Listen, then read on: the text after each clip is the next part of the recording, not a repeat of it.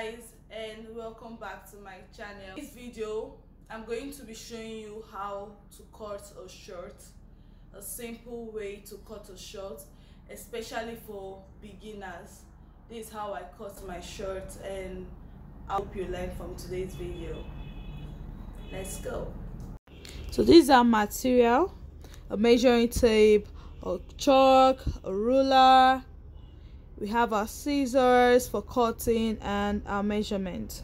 So the first thing is to fold your material into two and then you mark out the tip off.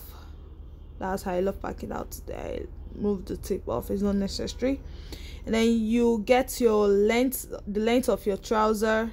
Mine is 19 i did not add allowance because i'm going to be putting a turn up.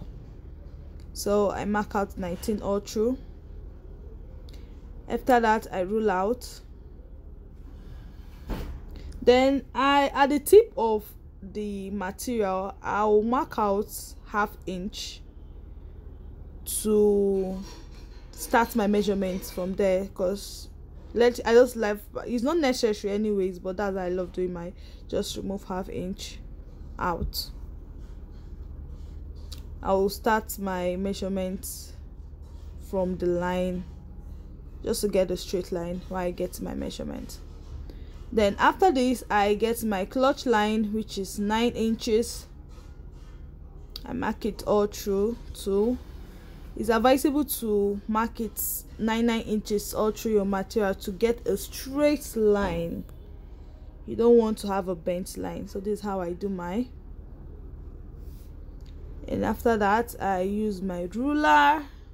Don't use your hand please it's advisable to use ruler to mark out. Then after that i use um two inches to get my hip line. Two inches to get my hip line. Then i rule out. And use um i use three inches to get my crotch. My crotch sorry crotch three inches rule out. The three inches was gotten from the hip measurement that was already divided by four. I divided it by four again and it gave me two point something 2.7 so approximately three inches. Okay so that's how you get your crotch line. Then you make a curve. Let it bend.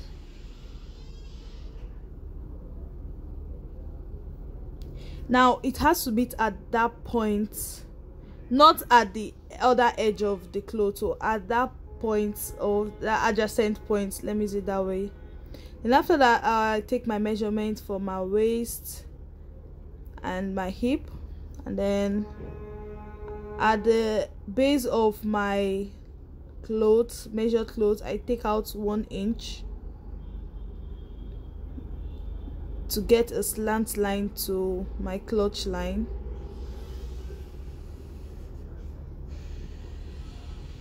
make sure that it's straight. I use one inch just to the tip of my crotch line and then i get my take measurement for my thigh my thigh measurement. I take a measurement for my thigh adding 1.5 inches allowance. As you can see you have a curved crotch and everything is set. The next thing is to cut out. Cut it out. Please just pay attention. If you don't get it just look at what i'm doing. I know it's kind of fast forward. Well please just pay attention. It is very easy very very easy to cut a shirt very very easy you just cut out your cut through your trace line and you can see. We have so this is the front part of the shirt. After this we'll place it on a folded material again. That same material you fold it into two and then you place the front one on it and then you use two two inches at each point of the crotch line just look at what I'm doing. Two inches. You take two inches. Two inches. Now the other part of the clothes you don't add allowance to it. It's only on this part. I don't know if you understand what I'm saying. You only add the two two inches on this part not on the other side. Then trace out. Please just look at what I'm doing i'm sorry that the video is kind of fast forwarded. Please just pay attention. Then at the tip i'll add one inch up. Then i'll take that one inch down to my waistline using my ruler. You see that i didn't add any allowance at the hip part. Don't add any allowance at the hip part. You're only adding 2 2 inch at the front of your crotch line and um, the slanted area of your towels as you can see. Yeah I like I said before I'm not adding allowance to the baseline because I'm going to be doing a turn up. So next thing you just cut you just trace it out. That's all.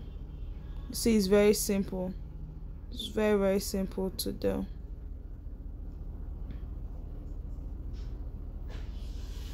So now we have the front part and the back part set.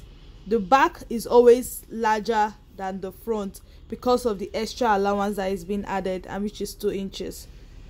Don't forget the tip of the cloth of your crotch um add for the back.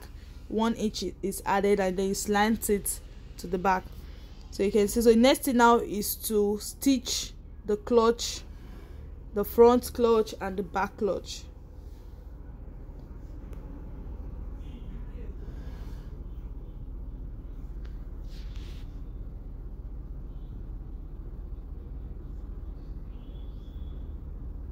make sure the line is curved. Follow what you cut. And I'll make my dart. I use 5 inch to get my dart for the front. Though I'm going to be putting an elastic band for this clothes. Going to put an elastic band but it's, it's not necessary to put your dart anyways but I decided to put that and this is my dart. Next is to iron. Ironing ironing is very essential in sewing it makes your clothes look so smooth and to be puffy. So after that you join the two edge of the clothes. You join it. Let it meet at the point the back and the front. As you can see i love starting from the center to the other end and then i'll turn it over and start from this center to the other end not from end to end. I love starting from the center so that it will just be uniform. As you can see two of them are on the same line. They're adjacent to each other. They're adjacent to each other. So if you finish sewing and it's not adjacent ha there's an issue. So next is to put my band. Actually made a mistake. I would have made a straight band because um i will still stitch the band together because i'm adding an elastic. I'll top stitch. After adding the band I'm going to top stitch it so that it look flat and neat. So I added a pocket to this but I skipped it. I'm going to make in a video on how to put in a pocket. This is the band. I've added the band then this is for our turn up. I added the paper stay to it to make it stick. So you just watch how I'm going to fix it. It's very very simple. So this is it. After folding it into two I'll put it inside the clothes. As you can see just watch. I might not be able to like describe it exactly but please just watch. Put it in and then use a pin to hold it round to make it sit. Now the band should be the exact circumference of your knee okay? And it must be equal. So after that you just stitch it up as you can see now. So next thing is to stop stitch it round.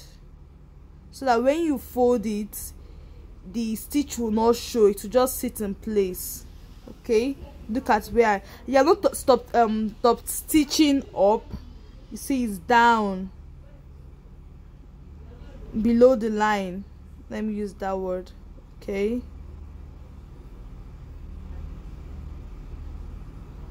You look right now right?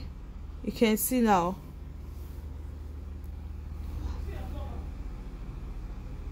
After folding it this is how it looks like so you just iron it to make it look straight and neat. So we're going to do this same thing on the other um, part of the trouser. And you can see it's just done looking neat and simple. So i decided to use um, an elastic for this video just in case um, because it's very easy start putting zip my same um, hand. It's just it's for beginners. You can start with using elastic. Then as you progress you put a zip. So i really hope you enjoyed this video and hope you get to try this. Any questions you can put it in the comment section. Thanks for watching. Don't forget to subscribe